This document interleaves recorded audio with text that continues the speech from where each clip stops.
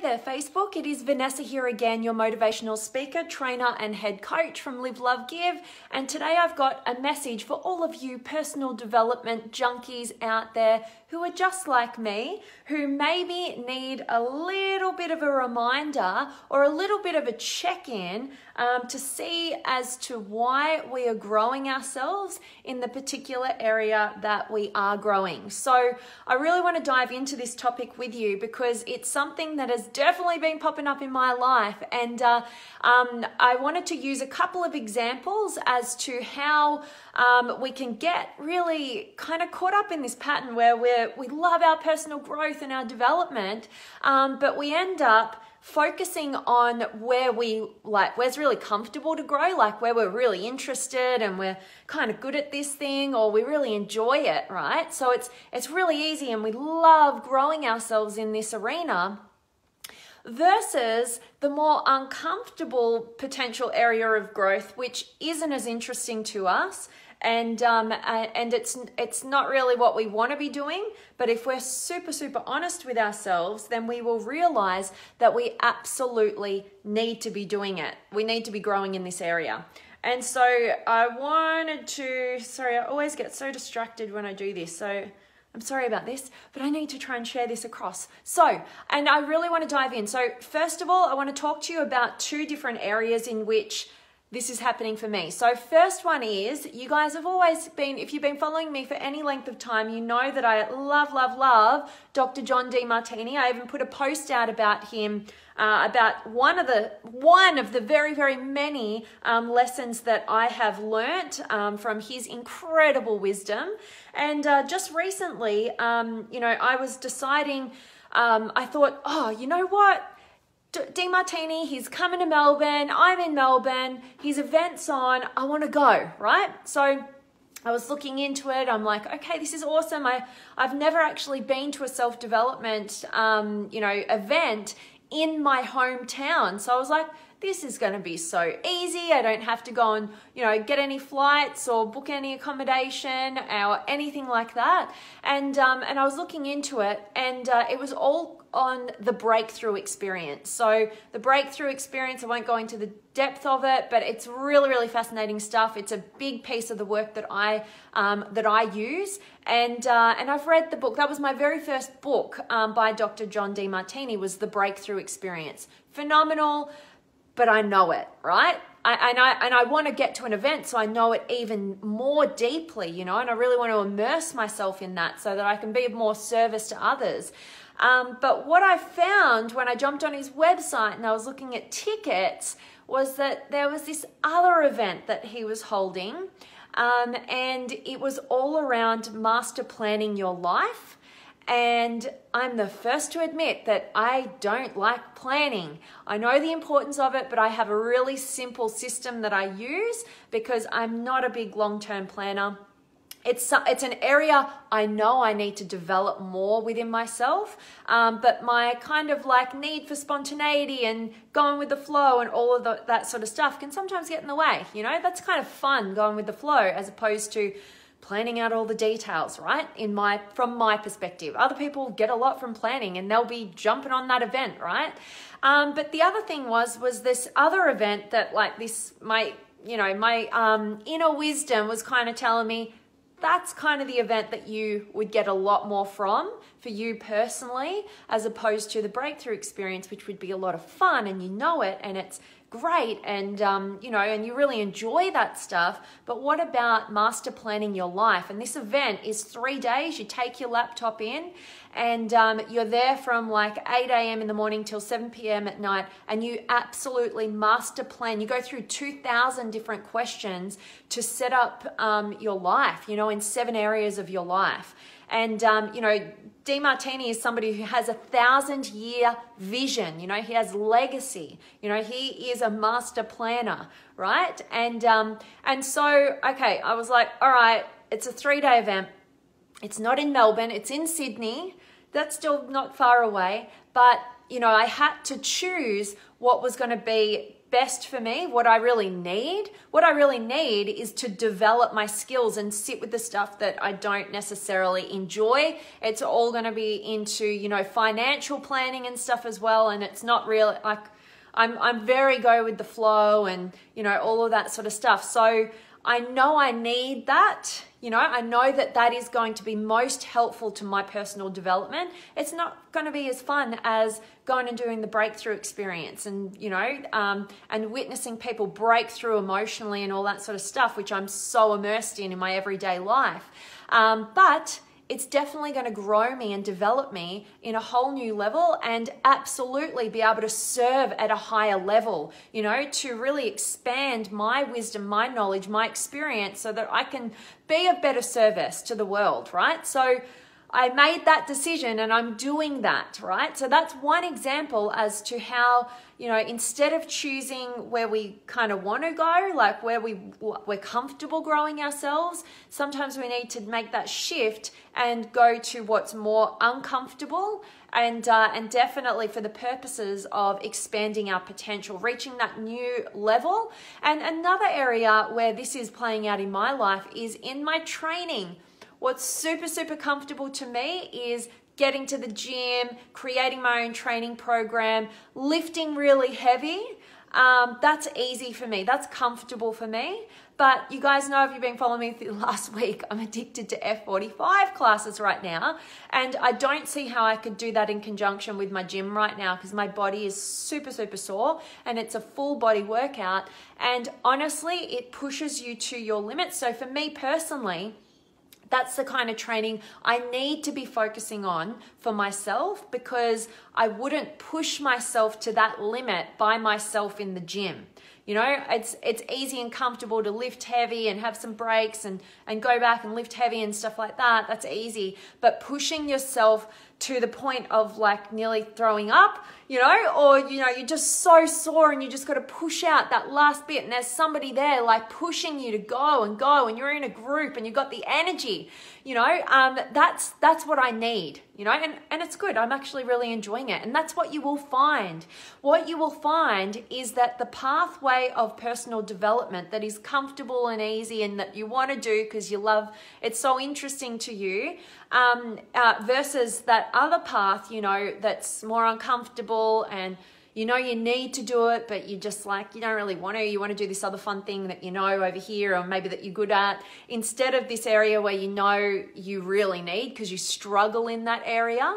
Um, you'll actually find that when you move in the direction of what you really need as an individual, as opposed to just what you want, you'll actually start to really enjoy it. You'll flourish. You'll grow 10 times more by focusing on the uncomfortable than staying in your little comfort zone, even if it is personal development. So um, that's really what I wanted to just you know, share with you guys today in the hope that it'll get you a little bit pushing outside your current comfort zone and uh, and not get stuck in if you're somebody who loves reading the next book, you know, and you've got a billion books, you know, and that's what you do and you you you're constantly reading all these things. Well, that might be really good, but how about let's challenge you? How about that's comfortable? How about let's get you to an event where you have to put yourself out there and you have to do the work, you have to take the action, you know, or vice versa, whatever it is, we've got to, to focus on what's uncomfortable and potentially an area of our life because we have a tendency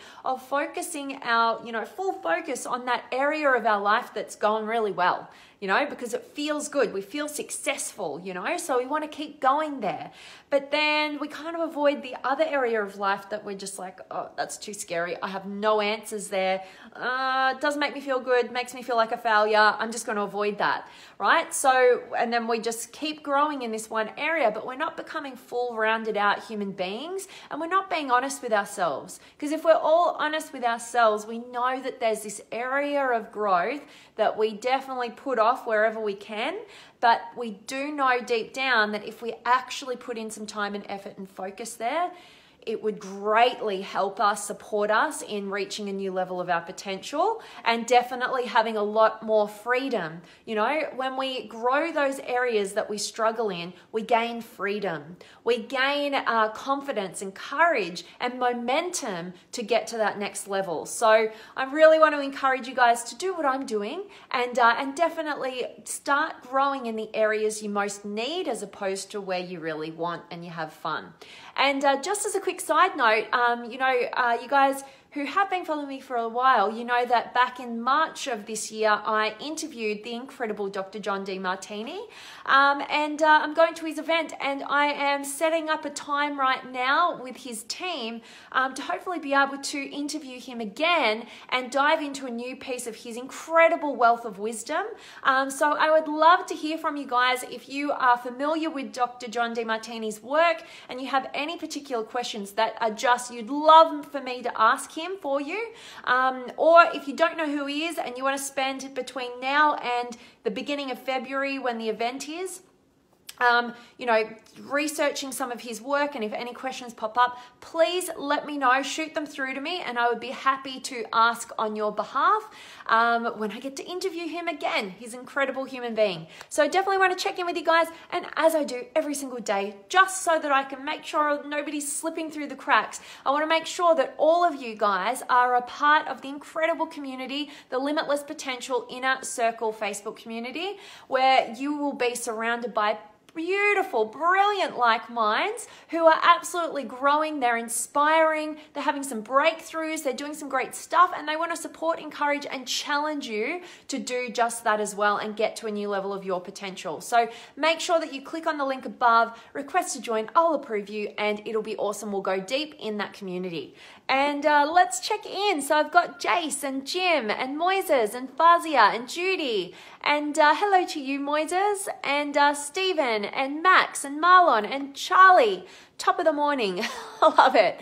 And uh, Ricky and um, oh, I can't say your name, um, but how many books do you read per week? Um, that's a great question. Um, I don't read I don't go like speed reading. I'm somebody who goes pretty deep on any particular topic that's really, really fascinating and really, really challenging at any particular time. Um, so it varies a lot. So I've got a lot of books and I'm a very, I do like to buy a lot of books. So I've got a pile that I haven't got through particularly yet, but I'm really, really focused right now on consciousness, the concept of consciousness and, um, and open-mindedness and expanding our consciousness consciousness so that you know humanity is uh, is on this evolving scale so at the moment i'm really diving into the work of sam harris um, you can check out his work the best way um, to do that would be on his podcast waking up with sam harris wow, is he um, just has some phenomenal people that he interviews. He's a wealth of knowledge all around neuroscience, um, you know, the theory of consciousness, all of that stuff. So didn't really answer your question, but like it depends. It really does vary, and um, I don't I don't read multiple books every single week. I like to go really deep on one particular topic and um, and really take it all in. I when I read, when I really want to learn something, I'm writing notes. I'm taking notes because active, like for me personally, I need to be active in my approach to my learning. So Hope that was valuable to you. And uh, Sergio's here, and West, awesome to see you, and Jeannie, and uh, uh, why don't I try a TED Talk? I'd, I'd love that. I'd absolutely love it. I love TED Talks. And uh, Adrian and Michael, um, yes, well, hope you catch the recording if you weren't sure what I was talking about today, and definitely get some value from today's message. And Philip and Alexandra and Tommy. Um, and I love that you're watching from Washington, Alexandria. That's awesome. And Stuart, and uh, awesome following from Libya. I wish I could say your name and say hi, um, but I appreciate you being here. And uh, Tim, good on you, Vanessa, stepping out of your comfort zone again, choosing the master planning course. Good to push yourself to a new level. By the way, I joined the Limitless Potential Inner Circle group this week awesome, Tim. And thank you so much for your encouragement there. And um, I love that you're a part of the group. That's awesome. And uh, if there is anything that our group can be, you know, really supporting you on, keeping you accountable to, if you need any sort of, you want new perspectives on different things, make sure that you are making the most of that community. We would love to go deeper with you in there. And thanks for being a part of the community, Tim. You're awesome. And Alonia's here, and Ellie, awesome. And Jessica. And uh, Tim, you're watching from Adelaide. Awesome, I love it. And uh, Filippo and Jared, awesome. And Jeannie, so true. When you make a commitment to grow, you need to step out of the circle of life. Um, growth happens when you get uncomfortable. Exactly. And that's why we can so unconsciously, as um, you know, people who love personal development, we can so get stuck in our little comfort zones and we, we're not even aware of it because we think we're into self-development. So of course we're growing all the time and getting uncomfortable, but are you really? you know and um, and i challenge you to really you know you might want to i might even do a training for you guys in terms of just probably after I do the Demartini. Let me do it for you after I do the Demartini course. I, I love, you know, simplifying things and systemizing them and sharing them with you guys so that you can fast track your success. I'm not going to dive into that. I'm going to learn a new layer from that event and I'm definitely going to share with you how you can get clarity over the different areas of your life and identify where, you know, making it measurable so we can see, ah, that's probably where I need to focus. Don't really want to but i'm going to have to you know because you know you're not you're not really up there with that one. Whereas you know that might be your finances are kind of like a 2 out of 10 as opposed to your you know your health. It's like up there at a 9 you know whatever it is. So um, i'll definitely be sharing as you guys know whenever i do a new event or anything um, so thanks, Jeannie and Jolene's here, and Ray and Harry and Haru. Keep it up and definitely don't let up. Love it. And uh, peace. Morning, Vanessa. Morning to you. And uh, Brenton's here and Moises. Have a great day. Um, love to, oh, and I love you being here, Moises, and wishing you a great day too. And Jeremy, pain plus reflection equals growth.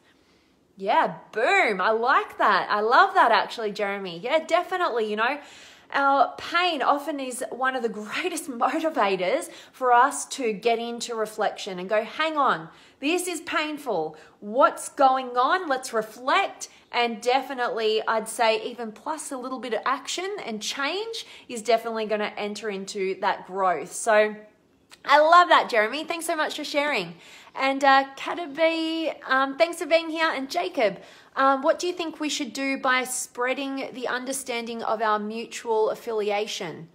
Uh, I don't really know what you're talking about there. Let me just clear my mind again. What do you think we should do by spreading the understanding of our mutual affiliation? I'm sorry, Jacob. I absolutely am lost. I might have had a brain freeze. I might not be understanding you very well, but if you could explain it in a little bit of a clearer way or, or whatever, maybe I'll pick it up after. I have no idea. But let me know because I really want to um, add some value to you there and answer your question there, Jacob. And you're welcome, Moises. And Hazel and Lucy's here. Awesome. I love it. Um, so, really, that is my message for you, um, guys. I really want you to make sure that you are most definitely being truthfully and honest, honest with yourself about maybe maybe I'm just focused on this area of growth that feels comfortable and feels good and I really like it, but I'm I really need to be focusing over here and um, I really need to be pushing myself out of the comfort zone of my personal growth. You know, just because it's personal growth doesn't mean that it's challenging enough to get you to your next level of your potential. And we need to become whole, rounded out individuals. I'm, I'm a big believer also in doubling down on our strengths, you know, but not at the expense of the, the work that we need to do that's limiting our potential, that's holding us back because we're avoiding it. Um, awesome. And uh, Jolanta's here and Shashank. And uh, thank you for your compliment there, Moises. I'm just about to hit Another F45 class? Yes, I better go. Um, but I'm loving it and um, it's good, good fun. And um, I hope you guys will all try it out and let me know what you think as well. I am um, going to sign off now, so I'm absolutely sending you guys, as always, all of my love, light, blessings, gratitude, energy, enthusiasm, everything extraordinary coming to you to wherever you are in the world today. I hope it's beautiful and amazing and extraordinary, just like you. And um, I cannot wait to see you guys tomorrow. So thank you so much for being here, and I'll see you then.